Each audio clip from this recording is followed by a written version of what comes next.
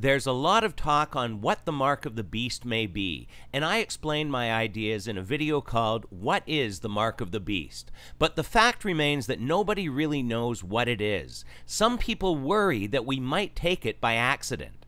I've heard a pastor say that we can take it because it requires not only taking the mark, but worshiping the beast and worshiping his image as well, as we see in Revelation 14:9. So if we take the mark but refuse to worship the beast and its image, we're okay. And still, I've heard pastors, and that's plural, unfortunately, say that we can take the mark of the beast and still be saved. So I want to show some things from Scripture that should make this absolutely clear. First, let's read this carefully and realize that this is not three separate things. This is three stages. In Revelation 13:12 it says, "And the beast exercised all the authority of the first beast and caused the earth and those who dwell in it to worship the first beast, whose mortal wound had been healed." So the first requirement before the mark is offered is worshiping the beast. No true Christian is going to do that. We continue in Revelation 13 14. Because of the signs it was given to perform on behalf of the first beast, it deceived those who dwell on the earth, telling them to make an image to the beast that had been wounded by the sword and yet had lived. So the image of the beast is something that people are actually going to make with their own hands, just like the golden calf in Moses' day. What that is, we can only guess. I could see it being some kind of artificial intelligence robot, or maybe it's just a statue. Who knows?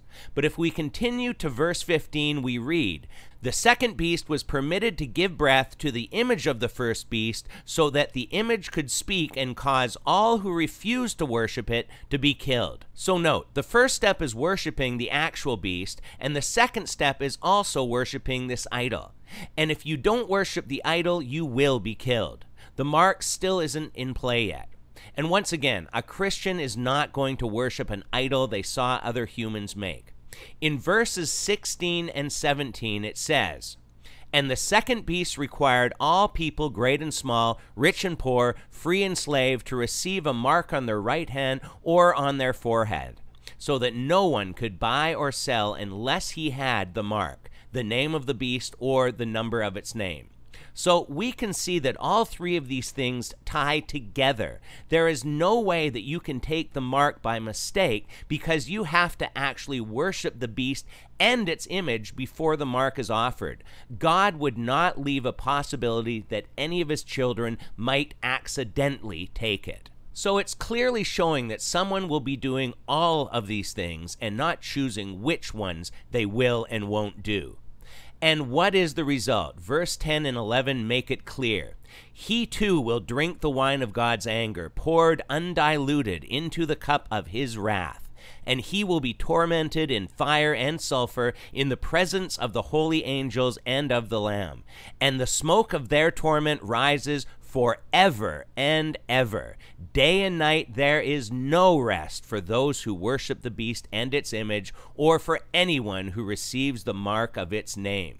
You are lost forever if you take this mark. Don't do it. And if you are listening to any pastor that has said we can take the mark and still be saved, stop listening to them right now. I don't care how much good teaching they have, they are just as dangerous as the New Apostolic Reformation. This is serious. This is a short video, and if you have to watch it again to let this really sink in, please do. But remember that taking the mark is accompanied by worshiping the beast and his image, and that there's no way God will let his children make that decision by mistake. Let us use this time to spread the good news of what Jesus did on the cross and explain to people about the time when this mark will be available. And maybe you're someone who's watching this today and isn't a Christian yet. You don't believe all that stuff. But when you see these things happen, please remember this video and that God loved you enough to warn you ahead of time. Cry out to God on that day. Refuse the beast and his mark and put your faith in the Lord Jesus Christ, and you will be saved.